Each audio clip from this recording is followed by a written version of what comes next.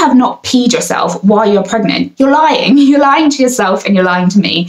Hi guys, I hope you're well. Welcome back to my channel. So today I'm going to be talking about 10 unexpected things about pregnancy, things that nobody tells you, things that I did not see coming. If you're new here, my name is Bhavi and I post videos every Wednesday. I would love for you to join me and subscribe down below and make sure you also hit the bell button so that you're notified every time I post a new video. So this video is actually in collaboration with the lovely Brodie. Her channel is Brodie Briddock and I will link it down below and also her video. She's also going to be telling you 10 things which she did not expect to happen when she fell pregnant. She has a great channel talking about beauty and pregnancy and she's absolutely gorgeous so make sure you go and check her video out down below. Obviously each pregnancy is really different and everyone has their own experiences so it'll be really interesting to see what she puts in her list. So before I get started I just want to throw in a little disclaimer. I am so grateful to be pregnant. I'm so excited to meet my baby and I love him so much. I don't think I should have to say this, but this video might come across really negative and a little bit moany because I'm not gonna lie, pregnancy is hard. It's one of the hardest things I've been through and I wanna share my honest experiences. So yeah, I'm just gonna get that out the way and say just because I'm having a little moan does not mean that I don't love my baby and I'm not so, so grateful to be pregnant. So I'm gonna stop babbling now and just get into it. The first thing that I did not expect when I fell pregnant is that there would be no symptoms. So when I was trying for a baby, I was reading so many TTC forums and blog posts, and a lot of it was talking about symptom spotting. If I had not done a pregnancy test, I would never have known that I was pregnant for at least a good month, I did not have any sore boobs, I didn't have any um, sickness or nausea, I didn't have spotting or discharge, I just had no symptoms to show that I was pregnant. So if you are trying at the moment, or if you want to know more about my trying to conceive journey, I will link that up here. But yeah, if you don't have any symptoms straight away, don't worry, just do the test and then you'll know if you're actually pregnant or not. The second thing, which came as a bit of a surprise to me, was that I did not look pregnant for a really long time. Now, I don't know if it was just because I was already a little bit chubby around my waistline, but I would say it wasn't until about week 23 to 26 I actually started showing and having a bump. And even then um, you wouldn't really know. You just think that I had a big plate of pasta the day before. So I think especially if it's your first pregnancy don't expect to be having your baby bump straight away or having people notice that you're pregnant you might just look a little bit chubby for a good few months before people actually realize that you're pregnant. The third thing that surprised me when I fell pregnant is that you don't actually get that much support from doctors and midwives throughout your pregnancy. You only really have two scans, one at 12 weeks, one at 20 weeks, and then a few midwife appointments thrown in here and there. And even at your appointments, they kind of check your blood, check your urine, and send you on your way.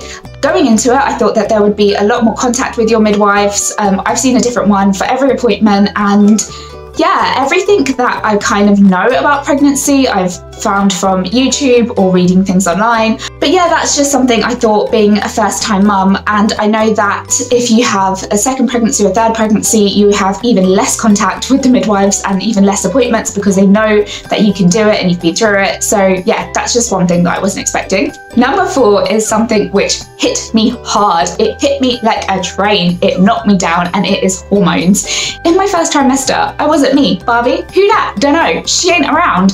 I was a hot mess. And now coming into my third trimester, that ogre has resurfaced. She has returned. I am just up here all the time. I'm ready to go over the edge. I have no tolerance. I don't want anyone near me. I don't want to be touched. I read in a book that it's basically your estrogen and your progesterone rising at the same time and they both do completely different things to your body. And it's basically like if you drank a vodka Red Bull. You've got the vodka sedating you and the Red Bull making you go crazy and it just messes with you. But yeah, hormones are real. They're a real thing. They mess you up and pregnant women should just have uh, I am dealing with hormones badge printed for them so that everyone knows what they're going through. Number five is going to be a little bit TMI, so if you don't like gross things, skip ahead.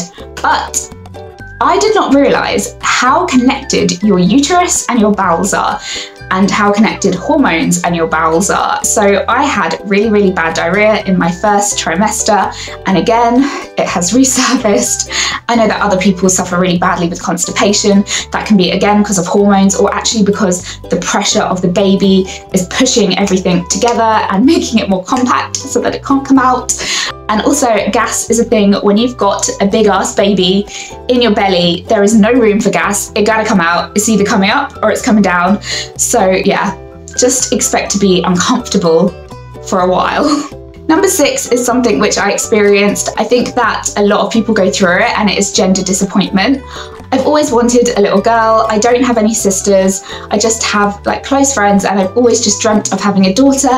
When the sonographer told me it was a boy, I was like, yes, of course it is. I have so many boys in our family, but I did have that disappointment of not having a girl. And I think the main reason for the disappointment is because I know that for my next child, I'll really, really be praying for a girl. When the sonographer said it's a boy, I was genuinely really happy, but it was only when I got home and I had a while to process it that I was quite disappointed that we weren't having a girl. Obviously, I know that every child is a blessing, and now I've got my head around it. I'm so excited to have a little boy. Number seven, I want to know did anyone else experience this? But as soon as I fell pregnant, my partner just assumed that I knew everything about pregnancy. Did this happen with you? Just because I'm a woman, just because I've fallen pregnant, does not mean that I know everything about babies and pregnancy and giving birth and breast milk. I genuinely don't have a clue. So when he's coming up to me asking me all these questions, I'm like, mate, Google it, because I don't know. Number eight is something, again, which might be a little bit TMI, but in my second trimester, my swelled up. Like it got big, it got puffy, and it got very, very painful. I think it's because there's a lot of blood circulating in your body, and a lot of it is going to the downstairs region, getting ready for birth. Um, but yeah, it did swell up quite badly.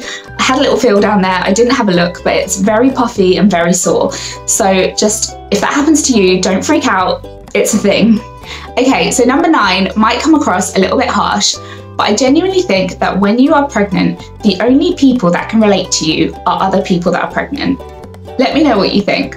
I have just found that people who have been through pregnancy and had babies, they are like, do you know what? It's a walk in the park. I did it. It's fine. You got this. Wait till you had kids that's when the real starts. And then on the other hand, you've got people who haven't experienced pregnancy yet, and as sympathetic as they can be, you're still like, you don't know what I'm going through. Obviously, that may come across a bit harsh. I have so many friends who have been so supportive, who have kids, who don't have kids. But I do feel that while I've been pregnant, I've just really been gravitating towards other pregnant people, just so we can share our misery, share our highs, share our lows. But yeah, that's something I didn't expect. I didn't think I would be so reliant on other pregnant women to get me through this process. That's why apps like Peanut are great, Instagram's great. Um, also, just the fact that I'm on YouTube and I've met other pregnant women like Brodie and we can share our experiences.